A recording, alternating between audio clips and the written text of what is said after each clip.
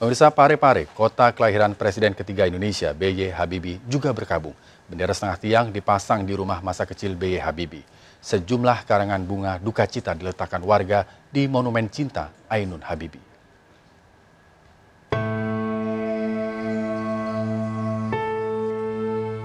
Rumah sederhana di Jalan Alwi Abdul Jalil Habibie, Kecamatan Ujung, Kota Parepare, Sulawesi Selatan ini terlihat sepi. Tidak terlihat aktivitas, namun di halaman depan rumah bendera setengah tiang sudah dinaikkan. Rumah ini menjadi saksi lahirnya Presiden ketiga Indonesia, B.J. Habibie. Di sini pula B.J. Habibie kecil mulai bercita-cita menciptakan pesawat terbang. Saat ini rumah ini sudah beralih menjadi rumah dinas sebuah BUMN, namun Pemkot Parepare berupaya membeli rumah tersebut untuk dijadikan sebagai museum Habibie.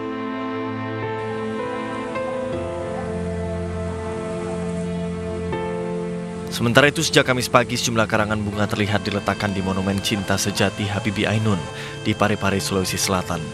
Kepergian B.J. Habibie meninggalkan duka mendalam bagi warga kota Parepare, tanah kelahiran almarhum B.J. Habibie.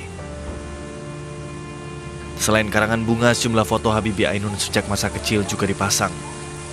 Monumen Cinta Sejati Habibie Ainun sebelumnya didirikan tahun 2015 untuk mengenang kisah cinta sejati Habibie dan Ainun. Dari Parepare, Sulawesi Selatan, Isan Ansari Ainius melaporkan.